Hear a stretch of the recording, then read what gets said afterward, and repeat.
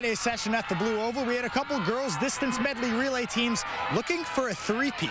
In 2A, it's Mid-Prairie, two-time defending champs fighting with a great start, but they dropped to a state meet record-breaking Van Meter. The Hawks add a silver to the trophy case. Two-time defending 3A champs Solon trying for a three-peat, but it's four newcomers to this event at state. Mia Stahle, Piper Stahle, Anna Quillin with a great start, and anchor Gracie Federspiel on the chase, pushing to a Spartan victory in 408.79. I just really knew that we wanted it. And just when I crossed the finish line, just like the joy of our team, and we've just been wanting this. So just like, it, I don't know, I can't express it.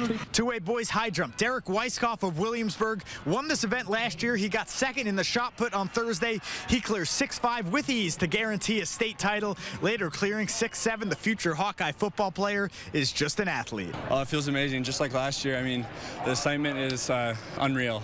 3A boys distance medley, a great run out of Heat 2 for Mount Vernon, and the Mustangs wait and watch their time of 331.83 holding up, and the team of Caden Stimmel, Brady Erickson, Jensen Meeker, and Zach Fall, state champions. A quick look at the prelims, and I mean quick. Boys 3A 110 hurdles. Xavier's Grayson Hartman runs a 13.96. That is a new 3A state record.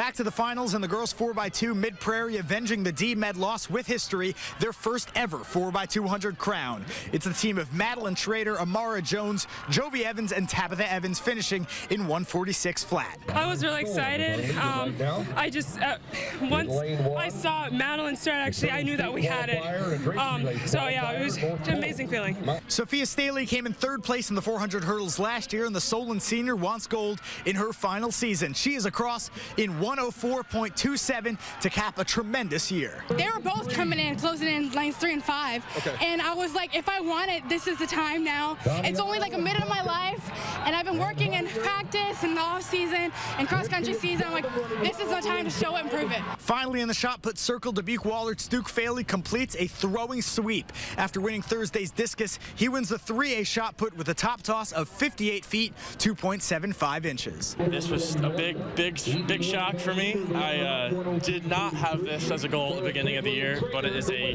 fantastic uh, bonus for, for my coach and I. Reporting from Drake Stadium, Jack Lito, KCRG TV 9 Sports.